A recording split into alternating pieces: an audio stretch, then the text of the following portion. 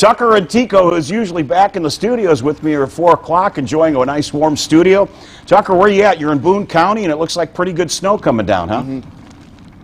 That's right. Yeah, we're out here in Lebanon, Indiana, and uh, I love the snow personally. I hope you guys all love it too because there's a lot on the way, and it is already falling here in Boone County. You know, in a 14-mile drive up here from the station, we went from rain to freezing rain to sleet to snow. Uh, pretty impressive that we saw all four types of precipitation in just that 14 mile drive. And uh, while I'm loving the snow personally, I will say there is still some uh, sleet mixed in here, so the ice pellets don't feel as good, but it is quite messy, and we're certainly seeing a pretty good snowfall rate. I just measured. We already have a half inch on the ground right now, so it is falling pretty quickly, and we'll keep you on top of this as changes occur through the evening.